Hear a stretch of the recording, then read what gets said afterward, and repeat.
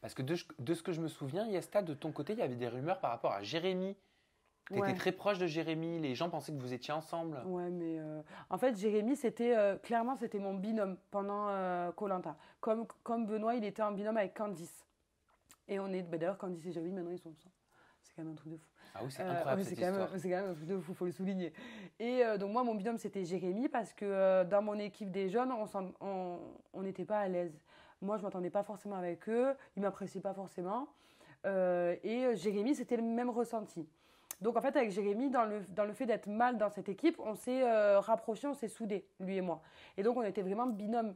Mais euh, enfin, moi, ce qui m'étonne, c'est de voir les gens penser qu'on est en couple, alors que des binômes dans Colanta, il y a, y a toujours eu ça, quoi. Des binômes. Comme Benoît, il était un binôme avec Candice. Et pourtant, personne disait Benoît et Candice, ils sont ensemble. Mais c'est juste parce que, euh, voilà, enfin, je sais pas, j'avais l'impression.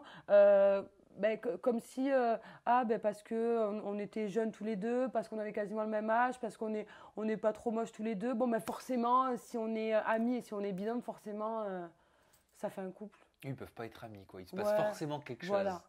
Voilà. Et c'est vrai que tous les autres de notre équipe, là par contre, je le comprends que les téléspectateurs aient pu être. euh, euh, aient pu voir flou en fait, parce que tous les autres de notre équipe nous charriaient du fait qu'on était tout le temps ensemble. Mm. Mais en soi, euh, Et, et- et raconte-nous un petit peu l'envers du décor, derrière cette entrée main dans la main avec Benoît sur le Prime, avec Denis- face à Denis Brognard. Parce que personne savait que vous étiez en couple. mais sur les réseaux sociaux, on l'avait montré quand même.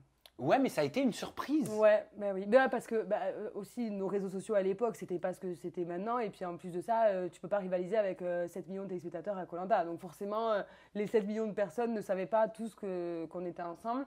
Et euh, bah, bah, du coup, je me suis fait critiquer quoi. C'est pas vrai.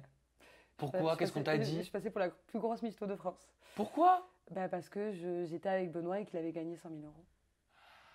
J'avais même pas pensé à ça. Bah ouais. Je n'ai même pas pensé à ça. Mm. Mais tu sais que je plains les meufs qui, qui, qui sont en couple avec des footballeurs. Mais je les plains, ces filles-là. Parce que si pour 100 000 euros, je suis la plus grosse traînée du monde, euh, waouh, elles, elles sont. elles doivent Ah donc tu t'es pris dans la face pendant des semaines, j'imagine, parce que Des je mois, connais un petit des peu, mois, des des mois. mois, voilà. C'est-à-dire qu'à un moment donné, même je mettais une nouvelle paire de chaussures sur les réseaux, euh, Zara à 40 euros, eh ben forcément, tu viens gratter les sous de Benoît, espèce de michto. C'était que ça. Que ça. Et ça, ça te faisait quoi sur le coup? Parce que là, t'en parles avec du recul, mais sur Ouais. le coup. Ben, en fait, sur le coup, je me disais, oh, ça va passer. Je, je m'en foutais un peu. Je, je suis un peu, je m'en foutiste par rapport au regard des autres. Sur le coup, je me dis, oh, bon, c'est pas grave, ça va passer.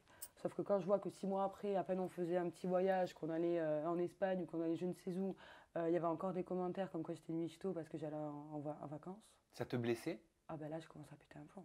Mhm. Là, je commence à me dire, là, par contre, euh, la vérité, hein, euh, à un moment donné, il faut arrêter. Enfin, 100 000 euros, c'est une très belle somme. Mais 100 000 euros, à un moment donné, tu michetonnes pas un mec pour 100 000 euros. 100 000 euros, au pire, il va acheter, il va, il, il va, il va acheter un, un appart et il va devoir en plus prendre un crédit pour rajouter le reste. Et au pire, je vais pas payer de loyer. Quoi. À un moment donné, enfin, 100 000 euros, euh, faut arrêter.